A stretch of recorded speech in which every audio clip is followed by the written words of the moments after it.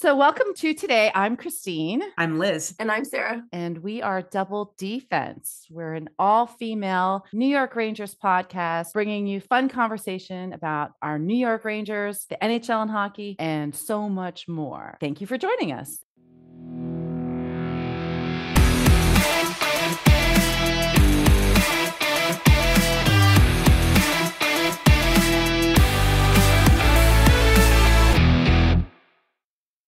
Hi, this is Liz from Double Defense. Please give us a follow on Apple Podcasts, Spotify, Instagram at double underscore defense underscore NYR, and our Facebook page, Double Defense. To answer your question, I had a few, but I wasn't nearly on the same path that you were. I'm quite jealous. Don't be as fun yeah. as it was. we, and we took turns. So when Christine turned up, because we had this great meetup at Beer House, which is an amazing place for like pre-hockey game drinks because it's right next to T-Mobile Arena. And then Stacy Nantini from Ladies of the Knights, she does all like the ladies of Facebook pages, had organized like to have everybody come meet there. So it was really awesome. And Christine turns up and she, she's like, I'm so hungover. And we're like, what like what happened? And also I've I've been texting you, like, yeah. I haven't heard from Christine all day. Like what is happening? And then finally, finally, you posted something on Facebook, and we're like, oh my god, thank God she's alive. And then you're like, yeah, I had my phone in airplane mode since. since I forgot.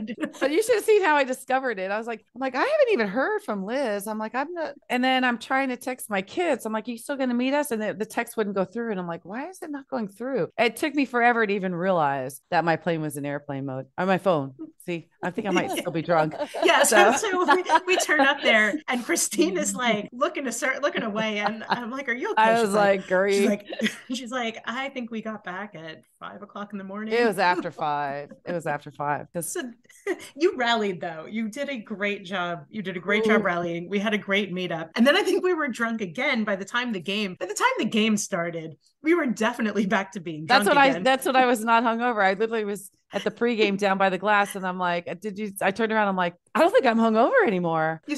just in time like, for the game. Yeah, I feel good. then the next morning, which we will get to in a little bit, but the next morning, like we all met up for brunch and I'm sitting there and I'm like, oh man, I am I am hurting right now. Woo. So, so I, I gotta roll it was a good time, Sarah. You were very missed. Your cardboard cutout had a great time. but appar- apparently, we're mastering the art of being in multiple places at the same time. I'm gonna say, I I think we had a we must have had a great time at the Calgary game too.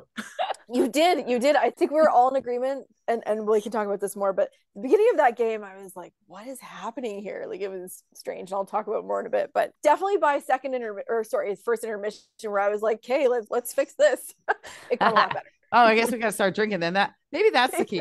I guess uh, we still have to figure out what's working for us and what kind of luck we can bring these teams to win. We do need to take credit for some of it, I think. Just for the record, I've gone to three games this year. They have won all three in very different ways. And I have to say, that win in Vegas last night was or the, I guess it was the night before at this point. It's totally discombobulated. On yeah, just Wednesday, a disclaimer: we Wednesday still night, may be drunk. yeah, um, the blogs are saying it, the podcasters are saying it. I'm going to say it right here as well best win of the season. They looked great. They were there for the full 60 minutes. There were a couple of like maybe some like slightly stupid penalties, but overall, that was a game that they needed to win and they dominated. They played so well. We had, I mean, it was such, such an enjoyable experience, not only to be there like together and be able to meet fellow Rangers fans and fellow fans from Ladies of the Knights, but also to go see an awesome win like that. And in the in the arena, there were still so many Rangers fans. The Golden Knights fans picked up and left with like 15 minutes to go. They were gone. So it basically left a ton of Rangers fans. And there were chants of like, let's go Rangers in the stands. When the game ended, I think like people were cheering because they were all Rangers fans. It was great. And the vibe afterward, as like when we were all walking back to the bar, everybody was cheering for the Rangers. There were so many jerseys. It was great. The Knights fans were very nice as well, I have to say. You know, we've been in places where they're not so nice. Definitely a lot of congratulations on how well that the game was was played. It was just nice. I enjoy the arena. I kind of enjoy the team and their social media. I just, the whole place is electric there. So it's fun. The show, we have a new phrase. I don't know when we want to bring that up. In the beginning of the game, when we went down to three players and the Knights scored their only goal, I don't know if you're aware of this, Sarah, but uh, Vegas has a chant that they do when the other team gets a penalty. I don't know why they don't do it when they get penalties because they had plenty too. Yes. I think it was the first penalty of the game, but it happened simultaneously. So we go down and they're starting to kind of do stuff. They're starting to chant. I was kind of like, what's happening? And then we get another penalty right off the bat. So now we're down five on three and they're chanting. Liz is down five people because we found empty spots and we were we're on the roof and she kind of leans forward looks at me and she's kind of like what the so let me let me set the stage here. When the when the when the team that the Golden Knights is playing uh, gets a penalty, the entire crowd does that scene from Game of Thrones where they start chanting shame and like pointing at the person, and everyone started doing it simultaneously. And Christine and I are looking around. We're like, "What is happening here?" And I look down at Christine, and she looks at me, and then Christine just starts going, "Shame, shame." so we were dying. This is like what the? It was, it was you can't see our faces. Bizarre... She just looks at me like what the? And and I'm just looking. I point right at her, and I'm like, shame, shame. Plus, we had like a seven year old kid in front of us doing it too. So it was so funny. It was. Um, I, I guess every every team and every arena have their own traditions. There were certain things that the Knights did that was really funny. That is one of them. There were a couple of other things that they did, like um in the national anthem when you get to the word night like everybody screams out night. I think it was san jose had the tradition of like just after the national anthem is over you yell out that the opposing team sucks. Like there's just really like fun interesting little traditions that have arisen from each arena but that shame thing was was so funny. So if any uh, vegas golden knights fans are listening to this kudos to you guys. You have like some cool fun stuff that comes along with i guess having a team in vegas especially one that is doing as well as the knights are doing. And you know it was a game well played uh, for sure. We met, like Christine was saying, some great, some great fans, including Chris, who is the host of the Locked On Vegas Golden Knights podcast, whose son was a huge Rangers fan. So that was absolutely amazing. He kept chanting oh, the entire he, time. He Let's go chirping. Rangers. It was fun. He was like, "Let's go Rangers," and then I you'd hear some other people just try to out chirp him, and Nope. That was funny because I'm I'm like leave it leave him alone. He's a little kid, you know. He was like I think was he seven or eight. He was this cute little kid. So and we were chanting along with him. He was even doing the shame because we were trying to do that too. Every time the Knights got a penalty, we wanted to kind of even the field. and, and I have to say, you know, just coming out of that game, and at the time of this recording, so the Rangers have have beaten the Golden Knights. We are playing Colorado tonight, so I guess this will come out Monday. So we will know a little bit more about the outcome of of how and uh, whether or not the Rangers were able to keep up this momentum that they've somehow figured out. And I don't know if it was Gallant changing the lines up because that definitely happened. Our favorite bromance has been broken up, and it seems to be working. Uh, so I can't complain about that too much. They, where, they uh, also came off that win on on Monday night as well. And that was a big win because, again, it was like two struggling teams kind of playing as what they were talking about and just kind of pushing through. So, I honestly, to be honest, I didn't have high expectations for this game because I actually watched the Knights play the Bruins, and you're talking two top teams playing each other. They played so differently the Knights weren't focused and weren't there for whatever their reason was. We were. It's funny, I saw comments after the game, but that were made prior to the game about Gallant's decision to break up the lines, thinking it was bad. And I'm like, well, now your comments look kind of foolish uh, because it actually worked. It worked well. You know, it was good to see people up on the board that we haven't seen in a while. Yeah. And the kids we getting some, it. the kids getting some actual ice time, which was amazing because it absolutely paid off. I think Lafreniere looked as good as he has looked all season. Um, Miller coming in for the clutch. I, I think Kakko was great. Kakko scored. Yeah. Yeah. Yeah. So I think And I, Goodrow just stepping it up with that cartoon fight, you know, that was he, beautiful. Yeah. So yeah. That in he, the penalty box and right out with the drop the gloves kind of fight. just, nice. That was funny. It the was fire like cartoon. The, yeah, the fire was like lit a little bit and and it definitely paid off. You know, one of the things that I've been thinking about, you know, quite a bit is did we already hit rock bottom and are we now on the way back? I don't know the answer to that, but I do think about all the time, you know, if this is a team that can get past those kinds of hardships, then the only place to go is up. And there was a quote, it was in Ted Lasso. It's also attributed to uh, like a pretty big soccer coach, Johan Cruyff, who talked about how every disadvantage always has an advantage that comes with it. And one of the things I've seen a lot on the boards recently is how there hasn't been like one standout player, like nobody's having a particularly amazing season. Everyone's just doing okay. But at the same time, that also means that like if one player goes down, we'll still be all right. Like these guys will be able to rise up together. And I think that they can support each other and really have a cohesive team if they just can, you know, keep this momentum going. So to me, that that's it bodes very well for the rest of the season. I think we're just out of a playoff spot right now, but there's still plenty of plenty of hockey to go and some huge games coming up in the next couple of weeks to months that will be, you know, the deciding factors about how the rest of the season and then the playoffs play out. Yeah, I agree with that. And I'll tell you, I think we've been talking about it for a couple episodes now. It's like I think Gallant should change these lines up a little bit sooner. And to rock bottom, I, I don't know what rock bottom is. I mean, we never went down below the middle of the pack. So let's compare it to the Anaheim Ducks, who are sitting at the bottom. They haven't even moved. I would be concerned if we dropped past 20, but we never did. So we kind of stayed in that middle and we kind of tend to make our way back up. It's kind of consistent the way we play year to year anyway. So I think to the streak now is good. Overcoming a top team is good. Now it's a matter of, seeing if they're going to apply what they're learning and and keep that consistency. I do have I, I don't know what it is like the concerns for us not being able to beat a lower seeding team like the Ducks. Yes. I don't know what it is. I don't know if they go in with this confidence. So uh, whatever it is, we've the the whole talk was that they were kind of overthinking things, especially Igor. These two wins in a row are again again they're good. And and to the original kind of statement you said, agree. This was the best game they've played.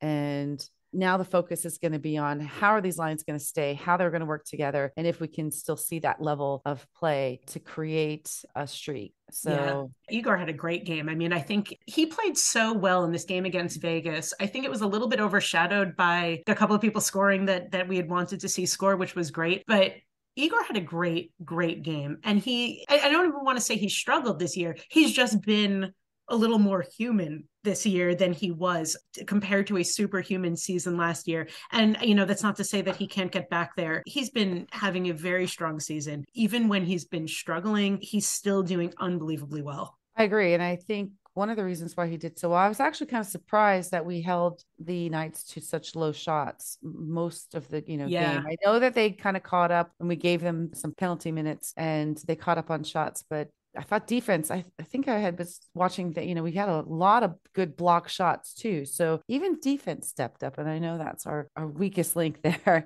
And that's what happens when you play it all together. A lot of conversation comes up with Igor playing better.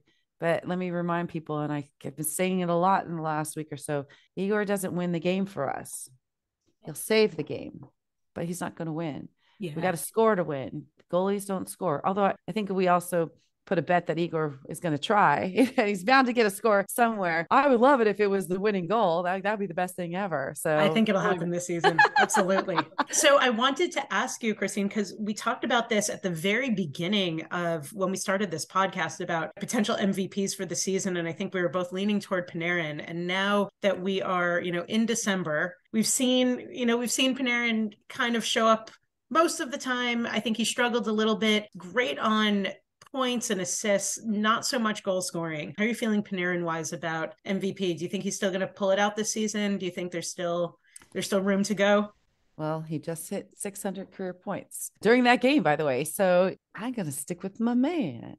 Yes, actually, I do. I think as much as we want to see him shoot, there were some moments during that game where I was like, I'm going to strangle him if he spins around one more time because he did have a couple opportunities to take a shot. Oh, there was one where he, he passed it and we lost it. So I kind of felt in the beginning he was going for points. I kind of still think that. I think he's doing fine points are points, whether you're scoring or you're assisting. So uh, he's still showing that he's contributing, although people may not see it the way they want to. I'm starting to lean more toward Mika these days. I, I, think he's been playing so well. It feels effortlessly well for him. Like it's just very natural. Like two huge goals in this game against Vegas. I think he's so good that it's almost like you don't even recognize how good he is because he's good all the time and he's so consistent and he's so fast on the ice. I might be leaning a little uh, a little bit away we'll obviously see what happens. I think they're both playing very well. And I think we've had a couple of like standouts from, I think Chytil's been playing really well. And I don't know if he's getting sort of the recognition that he's been deserving on some of these plays. I think Trocheck has actually been playing quite well as well. I mean, I don't know if they're going to be like MVP contenders, but for sure they're playing very well. So speaking of Trocheck, so one of the interesting statistics that came up uh, this week was on Monday. Are we unlucky in in how we're playing? And what came up was that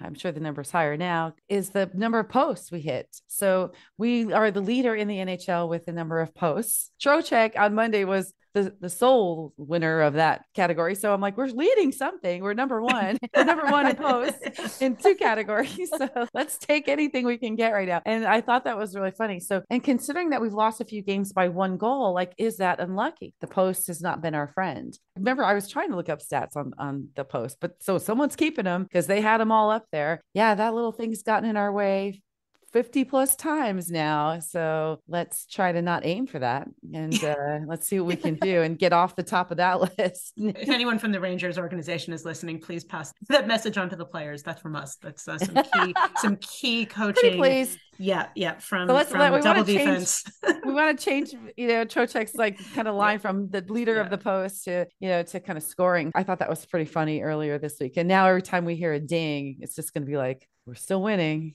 Yeah, so we don't want to hear that. Up until I think it was last game, I, I can't remember which game it was, but Kakko like hit the post like three times. Yes. And the, oh, the, oh, in one game. In it one was game. like in one game. And somebody on Twitter said that they want to perform an exorcism on him because that's the only way he's going to be fixed. But maybe things will turn around a little bit. And I think you know, Christine, he scored. You, so he, he, yeah, he did. And um, you know, maybe it is a confidence thing. Maybe they're going into some games overconfident. Maybe they're going into other games not confident enough. But I think if they can stay on this trajectory and keep kind of channeling that same energy, there's nothing that can stop them. And with the post, at least they're creating those opportunities. And when things are going to start going right, uh, you know, I think we'll get a little bit more luck back on our side as long as they're staying with that same kind of consistency because they're just creating that luck. I think generally a season which is very interesting because I think not just us, because I'm paying attention to it and I'll throw it over to Sarah too to see what she's seeing, but we're seeing a lot more scoring, but we're seeing a lot more shooting. So even though there's one or two games where they're held to 20 shots, there's been seasons where that's all we got. And that was the number But now, I mean, we really are seeing 30, 40 shot games from teams, not just from the Rangers, but from around the league, which is creating, again, more of a challenge for, you know, the goalie statistics and general scoring. So, like, how is your game that you enter? Are you generally seeing your teams like scoring or shooting higher and getting more yeah, scores?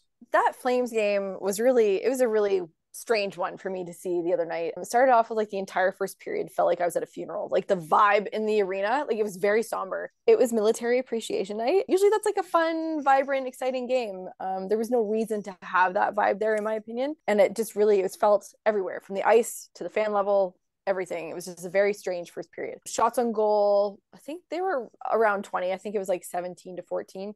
But second, third period, night and day difference. Everybody woke up. It was back and forth. Tons of shooting on net, uh, both ends for sure, which was great. Fleury, I know I posted about this. I love that man. That goalie, he's just like from his Team Canada World Junior days. He's had my heart for a long time. So I love him, and he looked phenomenal. Calgary won, which is great. It was back and forth. It was a really nice hockey game from from a shots perspective, from an action perspective. Not much fighting. It was really disappointing on that level. but but it was good. It, it was nice back and forth action. And how's Calgary doing in the standings? They're not in the top 15 because I just looked at those. So I will check for that and circle back in a second. but overall, like while we're talking about lots of shots on net, I definitely think that's what we're seeing this year, easily in the top five. We're seeing Boston and Jersey stay in those top two spots. Toronto has weaseled their way into third place uh, as of this afternoon. Oh, that's because we beat the Knights. and Vegas is fourth. So I expect that to change. I, I, think we're all on the same page there that that's that's not a, a long term standing there. Um, but Winnipeg, like I keep, and I keep saying it with that tone, Winnipeg. Like, why are they there? It's Winnipeg and Dallas and Carolina, Seattle. So I mean, we're seeing all the same usual suspects. Pittsburgh sitting in tenth, which is nice. I mean, we're going to talk about Pittsburgh again in a second. We've projected since the beginning of the season that New York and Pittsburgh, as well as uh, the Boston and the Vegases, uh, would all be up there. So I don't think we're going to see too much interchanging there. I think we're going to see these guys say uh, New York. I expect to move up. I expect Winnipeg to come down. But it's been a nice point in the season where we're seeing all these shots on goals like we expected to see at the start of the year. That lull period there, end of October, early November. I don't know what happened, but it affected almost everybody. Yeah, and when you're lo- when I'm looking at points from like the Eastern Conference and the Western Conference, it seems like the Eastern Conference is dominating mm-hmm. this year in terms of in just in terms of points. But it's like a couple of teams that are just saying staying ultra consistent. The West is going to be interesting to see how things play out for the rest of the season. Yeah, I'm just I'm just looking at the points now. I think like I think if the Rangers were in the West, I think they would have secured a playoff spot. But we're like tied no. in points. So yeah, yeah, and right now too, there's a big game differential with some of the teams. Like we may be at 28 games. Some teams are still at 24. I don't know why they're so behind in games, but it's just the way the scheduling works too. Yeah. So it gets, it gets wonky and is, you know, until everyone's really evened out on their games, that's a concern as well. The Rangers have actually played more games than a lot yeah. of the other teams. Um, yeah. So when we're even in points, it's a little bit more nerve wracking. And, and yeah, I'm not sure where that, yeah, where that scheduling differential had come from. Calgary's sitting in 17th. Edmonton is in 15th. So that's interesting. They're playing each other again for the last Battle of Alberta just after Christmas, which I'm trying to get tickets to. So if anybody's listening, I would love a hookup. I don't want to sit at the press level uh, if I can help it. Help us out, guys. Help us. Please. Yeah, help us out. But Anaheim, like, do we think they're going to move at all? I don't know. I don't. I they don't can. Know. They can stay there. That's fine. Yeah. Let's not make this complicated. They can just just enjoy. You gotta you gotta I, have a title for something. I'm gonna be honest. I, I think what's going to get really exciting as we crawl toward the end of the regular season is um, Rangers and Penguins yeah. because they're going to be very close, and this might be a very divided podcast for for a couple of weeks. And and if anybody is joining us for the first time, Christine and I are big Rangers fans, and Sarah is a Penguins fan. This is it is more of a a New York Rangers centered podcast, but we have thirty three point three percent of us pulling for the Penguins, so this could get very interesting and very exciting. And the Rangers do play the Penguins you know, at least twice in New York. Um, in the same in, week. Yeah March. within the same week. So that yeah in mid-march. So things are going to get real interesting real quick especially with all these teams. Like the islanders are right there. The capitals are pretty close the the flyers are kind of you know a little bit further behind. But this could be a real interesting end to the season. And that's why these games right now they feel like yes they're important but you know it, it's easy to go okay there's always next week there's always next game these are the games that we'll look back on and go oh my god if they had won that then we'd be sitting in a playoff spot right now we're fine. It's funny. Now the thought is, is to, do they schedule these games intentionally? Because in March, we're getting it toward the end of the season, you know, and in that role toward, yes, solidifying not just your playoff spot, but who you're going to play, they pit us together with our our nemesis. And and then they then we're getting two games in three days kind of a thing where like it's gonna be brutal. Yeah so there's gonna be some fights and it's gonna get ugly. Well that'll be fun. We should make sure we're there. Absolutely. I think it's going to be crazy with the those two things and i wouldn't doubt it if we were like vying for a position at that point too. Yeah. Um it's it's going to be fun and i think you know just before christmas santa's bringing us a rangers and penguins game on the 20th so that'll be that'll be interesting to watch we'll get our little preview absolutely yes yeah That'll be good. yeah, it'll it'll be telling, I think, and then especially that next meetup in March, I think will be a little more intense. I'm good. I, am good. We, you know, right now I think I, I'm kind of happy. Everyone's healthy. That's the other thing too, is keeping everybody healthy. If we stay healthy, yeah, we'll we'll we'll we'll start making our way back up. The top, the teams at the top are sitting pretty. There, there's quite a point differential. So, but streaks change, and uh, and so I don't really worry about the standing still after the All Star game where it really kind of matters. Then it really flows fast, and it's everyone's heightened up there. So so we'll kind of see where we're end, ending there. We tend to be you know, right at that last spot or in that wild card spot right around there too. And hey, you know, I know we talk a lot about rivalries. I do want to mention again, like how great it was meeting the ladies of the Golden Knights. Like that was, it was such a nice, supportive group of people. It was really a positive experience. I hope Sarah has the same experience when she goes in a Penguins jersey to Madison Square Garden. Uh, we'll see how we that, will make we'll it happen. we will make it happen. And just to recap, Liz and I, we co-hosted our first pre-game party along with Stacy representing you know her efforts to create this wonderful group of women in hockey. Stacy actually has created um, herself a business and a and just a wonderful community of not only ladies of the knights but uh, ladies of every team. So on facebook if you're listening and you're a fan of a particular team you can go on facebook and find ladies of the blues ladies of the rangers which is how again liz and i had met originally and become part of that group. And it, they're very supportive they you know they encourage following each other on on instagram and twitter all different social medias and for for supporting your business if you have a personal business or something to share it and stacy does kind of promote meeting and getting group pictures. So for her to to join forces and to co-host this party, we had such a great turnout. My children showed up. One of the best moments was and I had some friends from New York showing up, but one of the best moments was sitting there again in my hungover state. Some girl walked into the bar and she was like, Christine? I did not recognize her. She remembered meeting me in Anaheim eh, earlier in the year. She's actually from Arizona, but she knows people that were part of the group. So that's why it was a little hard. I met 10 people and she met me. So she had known people. So she remembered the jersey I was wearing and eh, somehow remember my name walked into this bar in the middle of Vegas and happened upon me. So, so we had grown our group. It was her and her husband. It was my friend Ted, and it was even the guys that got us drunk. The night they even showed up. Uh, and then Stacy. and then Stacy brought in a bunch of women too that kind of joined us. So we had a great turnout for, you know, our first official, you know, pregame party and hosting it in in Vegas. We definitely have to make it a tradition because it was so fun. We will learn to uh, party more responsibly and maybe more moderately because the hangover is not that fun. will uh, we? Will we really? Uh, probably not. probably not. we, just, we just need more support.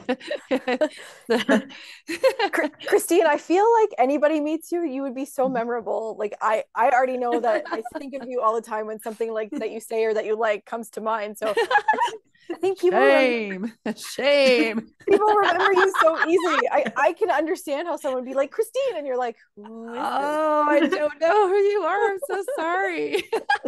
but because you're you're you know you're such a presence. I I totally oh, get that. You. yeah but I try to be helpful too. That's the one thing. And I love meeting the people at the games. And we only meet once a year, but I've, I remember people, I can't remember everybody because it's once a year and I don't know their names, but like, and when they remember me, it's because usually if I'm in the front during the warm ups and stuff, I'm always like sharing, taking pictures. That's what happened at the Kings game. I had I took some pictures when I could of a girl and her dad, and she was getting a stick, and I sent it to him. And then it was so cute because they made another sign and I didn't recognize them at first. And I was looking at their sign, just trying to be social. And again, we were promoting our podcast and everything too. And um, yeah, they, they showed me the sign and all of a sudden he realized it was me. And he's like, well, you took this picture from last year. So, so that's always nice to see. I just like everybody to kind of share in the fun and the joy of everything. So it's good that it's the same kind of family that meets there every year because I do recognize other people too. So it's a nice little a little five minute reunion once a year. And I think Rangers fans are so receptive to it. Like there were a couple of people who were just walking by with Rangers jerseys, and Christine would be like, "Come on over." And there were the people that we we had met uh, we met earlier that day because the guy was wearing a Rangers jersey. And we're like, "Come on over," and they totally came and they totally wanted to hang. And it's really awesome to also hear people's like a lot of transplanted New Yorkers who happen to be living in other places. A lot of people who just happen to be in Vegas for something else else they were able to to come to this game. So we've traveled a little bit to away games this year but vegas is such a great location to really have people like congregate together and just have a great time. So this is now going to become a double defense tradition for sure. Um, note to everybody listening mark your calendars yeah, as soon as we have, as soon as we get uh, the next next it's gonna happen. Yeah, next year's Vegas, we're we are booking it, and we will make it a we'll make it a really big thing. So the place is nice to too. To. We it was we met at the beer house, and which is right outside. And again, just to kind of also, so if you haven't been there, we forget you can drink on the streets. So the beer house is right yeah. there. We start walking. They have beautiful sculptures, and they had a stage in front of T-Mobile Arena with people singing, and they had a big Jameson truck there, and mascots and all flamingo people. You know, yeah, showgirls, cheer, uh, cheerleaders, everything. Yeah, it was just insane, and uh, and it was so quiet. I got there at three o'clock. It was was so quiet. So it definitely built up pretty quickly. And then afterward too, there, it was a nice, a nice environment for people. And, and again, people were just very, very kind and respectful. You know, no negative comments for anything from people I saw. So well, I think that's because all the Golden Knights fans went home, and it was the Rangers fans that stayed out that stayed out to uh to have one to have a celebratory drink afterward the Flames game was early that night. So by the time I got home, I flipped on the Rangers Vegas game. I caught most of the third period. And it was at the point where I think it was the fourth goal they scored, and the Vegas goalie just like lost it. He like slammed his stick against the post, and he's like, you know, I saw tantrum. That. yeah, we like to see. And then from the camera from our roof seats, we had a bird's eye view. the camera pivots to this uh, Rangers fan in a St. Louis jersey, just dumping a tall can all over himself. Ah, I, I didn't see that. I, I saw it only afterward because I didn't see it happen at the game, but I, I know what you're talking about. Yeah and I was like, this is amazing. Like, look at this go. And just like, it was so nice to see not only the team obviously flourishing as, as we intended them to all season, as we've been talking about, they're capable of it, but also to see Vegas get frustrated because it's not very often you see that. It was, it was fun. So, just looking at the schedule, uh, the Rangers do play the Avalanche tonight. Um, and then on Monday, December 12th, we're playing the Devils. And then on Thursday, we're playing the Maple Leafs. So, next week will be an interesting one. I think we'll have an understanding about which direction this team is going to choose to go now that they're at this pivotal point where back on the upswing. Let's see if we can keep this momentum moving forward. But either way, this is going to be a very exciting week in front of us. Especially the Devils, because I think what gets in their head is that there's such a rivalry, too. I think for whatever whatever reason, I feel with the streak going on that it's getting to them a little bit more than the normal like uh, Islander rivalry, which I think is is more prominent. But the Devils, I think, I think the last game got in their head. We play well tonight. It'll be a good game. Yeah, I'm curious to see how these lines work uh, against uh, against the Avalanche. So we'll report back next week on that. I think our hangovers will be done by then. We'll be refreshed and and ready. We we are back from Vegas uh, in one piece. Uh, I my my phone is not on airplane mode anymore. I, I am found. I am safe. I do have a habit of getting lost. I remember because Liz and I were texting back and forth. and I'm like, oh my god, checking your socials. I'm like, okay, well, she was at a bar at least at 3 a.m. So she she made it to the bar. then we drank blue drinks and then one funny story. So we I don't really remember the ride back in the Uber with my girlfriend. I think she was videotaping the scenery. You don't see anything, but you hear me because they're talking about a rodeo because there's this big rodeo in Vegas right now. In my drunken stupor at five something in the morning, you hear me say, forget about the rodeo. We have this podcast and we're doing a party. And then it went to a bunch of vowels after that, I think. So I, I did my best to promote us in every, every way, shape, and form I could. So forget about the rodeo. that, that's why that's why we have all these new followers. it worked. It worked. We are doing well on followers. We definitely appreciate all our new friends and again, a big, always a big shout out to Stacy. We are going to talk more with Stacy throughout this season and all the things that she's accomplished because she was just a pleasure to meet. And uh, and I like how she's not only promotes women in the sport and bring up, but uh, the unity of it too. So we can all root for different teams, but we can also all get along really well and talk you know i mean I, I i i, like the fun rivalry you know it's like we can chirp back and forth on the teams and keep it good and keep it fun and I like that. And all the women we met, we did a big group picture. They were so cute. So, and everyone was very happy. And they have amazing sparkly, amazing, beautiful, beautiful. Like so all the jerseys are like made of this like gold, but like sparkly material. I, I don't even know how else to describe it. They have great, great accessories. Like Stacy has great, like everything was just very impressed. We were just very impressed by Vegas overall. I can't wait to back. see it myself. Oh my god. Oh, just wait till next year when uh, triple defense is together. we're gonna we're and we'll have our own bling by then too. Just you wait. We'll we'll be ready for the next game for sure. Well, thank you, ladies. We are excited for next week. Please reach out to us on social media. We love hearing from you guys, and and we are looking forward to recapping shortly. Yeah, our, our next drinks may be some kind of quiet. Maybe we'll just go like apple juice or like something kind of light. We'll keep it light, you know. So I like focused. Our, our, drink pairing, right our, our drink pairing for tonight was whatever we drank in Vegas. So yeah, our, yeah, drink pairing for Avalanche. Which I mean, this will air. This will air after, but it, it was whatever you drank in Vegas. So make sure you do exactly that. And then Christine texted me. She's like, "What did we not mean? drink?" Yeah, what did we not drink in Vegas? So I, I I drank a flower that's you know probably made me not remember my ride home. So I don't know what that was. and so your post was something like yeah that means 20... we're drinking 27 27 beers 17 vodka sodas and then five margaritas oh my god i think between the count. two of us i, I think count. between the two of us that's about what it was and and a really really bad bloody mary so so we'll have that in there too yeah. for the listeners drink along with your alcoholic, non alcoholic, whatever it's working. And we're going to keep those good vibes going. We'll meet here again next week to see what the next week is going to bring us. So it's, I think we're very excited about kind of closing this year out on a on at least a fun note. Uh, and congratulations to Panarin for hitting another milestone. I love seeing these things come up too. Let's keep up the good work. Yeah, absolutely. Thank you, ladies. Thank you. Have a great day, guys. Bye.